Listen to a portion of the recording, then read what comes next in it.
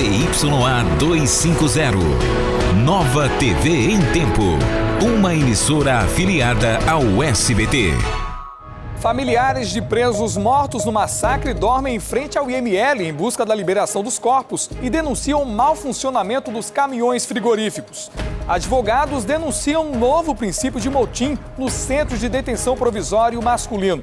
Facções criminosas continuam causando medo aos moradores de Manaus. População reclama da falta de segurança nas ruas. Líder comunitário é preso, suspeito de ameaçar e estuprar adolescente de 12 anos na zona leste da cidade. Depois de três meses sem representante na Assembleia, o governo anuncia a deputada Joana Dark como líder do executivo na casa. E no dia livre de impostos, manauaras aproveitam para comprar produtos com até 70% de desconto. Isso e muito mais no Jornal em Tempo desta quinta-feira, que está começando agora.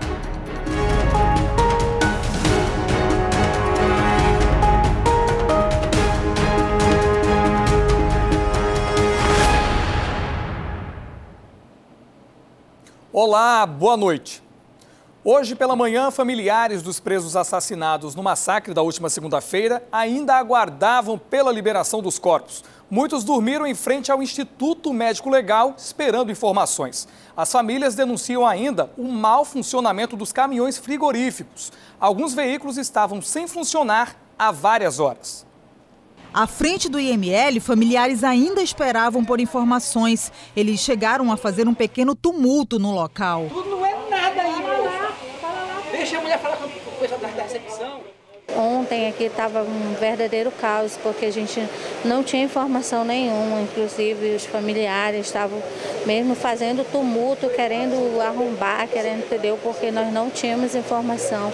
O diretor do Departamento de Polícia Técnica disse que o problema é a falta de documentação dos detentos. Para a gente fazer um confronto da identidade, né? Então nós estamos ainda aguardando que os familiares apresentem a documentação necessária para que possa fazer a identificação. A demora na liberação dos corpos se estendeu a familiares de pessoas que nada tinham a ver com o massacre. Esta dona de casa diz que a mãe morreu em um acidente de trânsito na quarta-feira. Até o fim da manhã desta quinta, o corpo da senhora não havia sequer sido retirado do hospital. O IML já foi para lá, mas até agora nada dela vir, entendeu? E eu tô aqui esperando. Familiares dos detentos mortos na última segunda-feira afirmam que os caminhões frigoríficos que foram enviados pelo governo do estado aqui ao Instituto Médico Legal não estariam funcionando perfeitamente. Alguns deles disseram que chegaram a flagrar um técnico tentando consertar um desses caminhões. A maior revolta dos familiares é de não poder velar os corpos. Um velório digno para o nosso filho, né? Que todos merecem, né? Ninguém nasceu à toa. Ninguém nasceu do vento, não. Em nota, o governo informou que a liberação dos corpos foi normalizada e disse ainda que houve um problema técnico no caminhão frigorífico que impossibilitou a refrigeração adequada dos corpos, mas não foi necessária a substituição do veículo. No cemitério Tarumã, zona oeste aqui da capital, 35 covas foram preparadas nesta quinta-feira para receber os corpos. Os demais foram enterrados em sepulturas das famílias. Olha, e hoje advogados aqui do Amazonas participavam de uma conversa com internos no Centro de Detenção Provisório Masculino e denunciaram o princípio de um motim no local. A SEAP negou qualquer ocorrência. Luiz Rodrigues traz mais informações. É isso mesmo, era por volta de 11h30 da manhã desta quinta-feira, quando cerca de 10 a 12 advogados foram até o Centro de Detenção Provisória Masculino, localizado na BR-174, para falar em parlatório. Ao chegar no local, eles acabaram sendo impedidos de realizar o procedimento por conta de uma movimentação que estava acontecendo no local. Até policiais armados entraram para conter a situação. Um colega advogado que também estava lá no, no local me informou que o parlatório tinha sido cancelado e que havia é, uma alteração lá no, no, no, CDP. Então, é óbvio, a gente fica preocupado. Tinha uma colega, inclusive, que estava lá dentro, da, da, fazendo parlatório, conversando com seus constituintes, e aí toma aquele sentimento de, de preocupação. Né? Mas, graças a Deus, ela conseguiu é, sair sem maiores problemas. E por meio de nota, a Secretaria de Estado de Administração Penitenciária informou que está tudo sob controle e dentro das normalidades. Eu volto com você ao estúdio. Obrigado, Luiz, pelas informações. A polícia prendeu hoje integrantes de facções criminosas que podem estar envolvidos nos homicídios que aconteceram depois dos massacres nos presídios. Durante a coletiva que apresentou os resultados da operação, o secretário de Segurança Pública aqui do Amazonas, Luiz Marbonates, comentou também sobre um possível pacto firmado em 2015 com facções criminosas pela paz nos presídios. Nos últimos dias, Manaus tem se tornado palco de ameaças e homicídios em vários bairros da capital.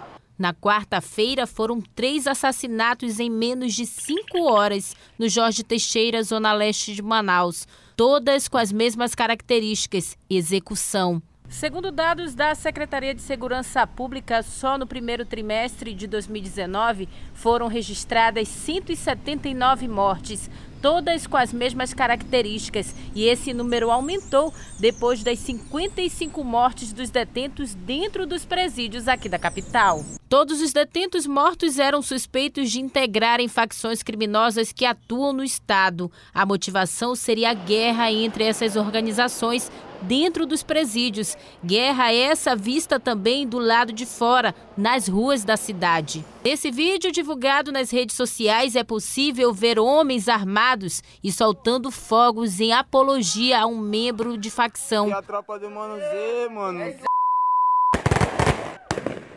As imagens foram gravadas em uma área de invasão do conjunto Viver Melhor, na zona norte da capital. Nesta quinta-feira, oito homens e uma mulher foram presos, apontados como os integrantes do grupo que aparecem no vídeo. Com eles, os policiais encontraram drogas, balanças de precisão e as armas usadas durante a gravação. Esse outro vídeo, que também circula na internet, mostra um grupo com armamento pesado caminhando pela rua. Nós, é nós, é nós. A polícia investiga se é a mesma quadrilha presa nesta quinta-feira.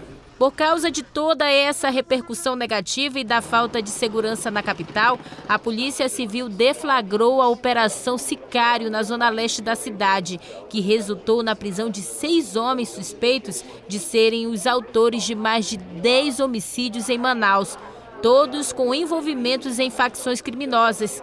Com o bando, a polícia apreendeu drogas, dinheiro, munições e armas de grosso calibre. Durante a coletiva, o secretário de Segurança Pública do Amazonas, Lousmar Bonates, comentou sobre a repercussão de uma reportagem veiculada em um portal a nível nacional, onde afirma que ele teria ajudado uma facção criminosa que atua no estado em 2015. Isso é uma matéria requentada, novamente, na época da, do início do governo do, do nosso governo, do, do governador Wilson Lima, foi levantado pela imprensa séria, certo? e foram até o Ministério Público Federal e o Ministério Público Federal declarou que eu não tive, não fui nem citado, não, passei longe dessa operação. Apesar das prisões nesta quinta-feira nas ruas de Manaus, a população ainda está com medo e se sente refém da falta de segurança na cidade. A gente fica sem segurança, a gente fica exposto a qualquer tipo de criminalidade. Então, eu creio que o governo deveria fazer sim um pouco mais. A nossa segurança está em Deus, porque fora disso, você não tem segurança na escola, na igreja, em canto nenhum, nem dentro da sua própria casa você não tem segurança. E também nesta quinta-feira, mais 17 presos apontados como líderes de grupos criminosos que atuam dentro das unidades prisionais aqui do estado foram transferidos para os presídios federais. Os locais para onde eles serão levados ficam a cargo do Departamento Penitenciário Nacional. Ao todo, já foram transferidos 26 detentos. E o vice-presidente do Brasil, general Hamilton Mourão, está em Manaus. Ele participa daqui a pouco de um dos eventos da programação da Semana do Guerreiro de Selva, no Centro de Instrução da Guerra na Selva, o SIGS. Vamos para lá agora, ao vivo, falar com a repórter Patrícia de Paula. Patrícia, boa noite para você.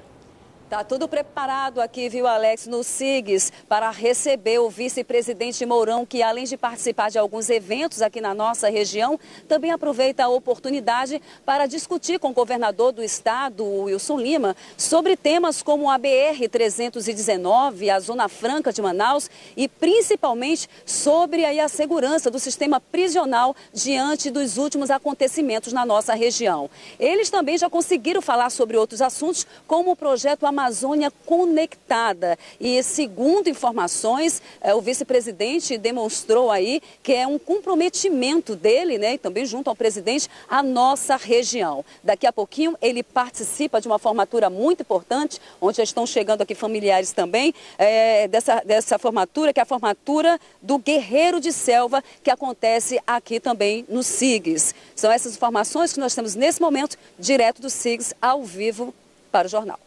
Obrigado, Patrícia, pelas informações. E ainda nessa edição, Joana Dark é a nova líder do governo na Assembleia Legislativa. É daqui a pouco.